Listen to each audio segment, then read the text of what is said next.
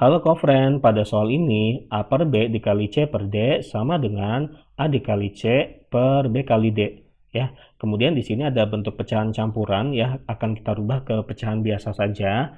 Jadi cara merubahnya seperti ini. 3 dikali 6 di sini ya, hasilnya 18. Kemudian 18-nya ditambah dengan 1 di sini, hasilnya 19. Nah, 19-nya kita taruh di sini.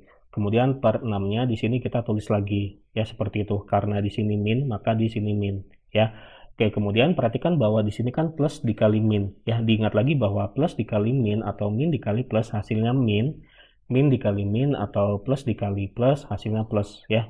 Nah, karena ini plus dikali min maka hasilnya min ya. Di sini hasilnya adalah min. Tinggal kita kerjakan saja yang 3 per 7 dikali dengan 19 per 6-nya. Ya, seperti itu. Kita bisa gunakan konsep yang di sebelah sini ya. Tetapi sebelum kita gunakan konsep yang di sini, jika kita ingin menyeder menyederhanakan terlebih dahulu, tidak apa-apa ya. Kita akan sederhanakan terlebih dahulu saja. Yang tiga di sini dengan yang enam di sini, ini sama-sama bisa dibagi tiga ya. 3 dibagi 3 hasilnya 1, 6 dibagi 3 hasilnya 2. Ya, ini 7, ini 19. Ya, kita tulis lagi saja.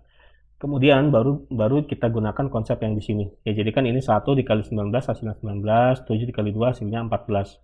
Ya, seperti itu. Jadi bentuk paling sederhananya ya. Jadi hasil kali dari ini dan bentuk paling sederhananya itu adalah ini, min 19 per 14. Kemudian untuk yang bagian B-nya di sebelah sini ya, yang ini. Oke, jadi kan ini min dikali min hasilnya plus ya, berarti nanti hasilnya plus. Kemudian kita sederhanakan terlebih dahulu saja. Yang 9 di sini dan yang 12 di sini ya.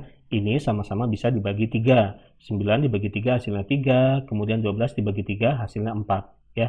Kemudian yang 2-nya dan yang 15-nya kita tulis lagi ya. Ini 2-nya, ini 15-nya. Kemudian kita gunakan konsep yang ini tadi ya 2 dikali 4 hasilnya 8, kemudian 3 dikali 15 hasilnya 45. Ini adalah bentuk paling sederhananya. Kemudian yang bagian C-nya di sini min dikali plus ya. Min dikali plus berarti nanti hasilnya min ya seperti itu.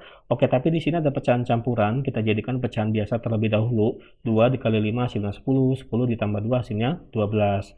Kemudian ini per 5 dikali dengan 3 dikali 2 ditambah 1 hasilnya 7. Kemudian ini per 2. Ya seperti itu. Sama dengan min dikali plus hasilnya min ya. Nah, ini bisa kita sederhanakan yang 12 dan 2-nya masing-masing bisa dibagi 6.